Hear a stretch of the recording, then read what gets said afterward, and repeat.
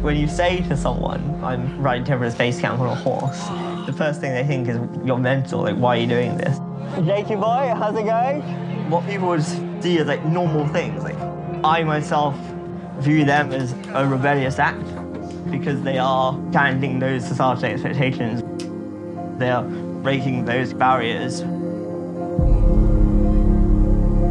People don't ride up Everest. The physicality of it is just enormous. Through your bag?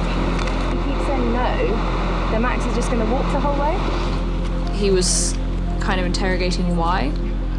Why is it that I want to prove myself? And why should I have to prove myself?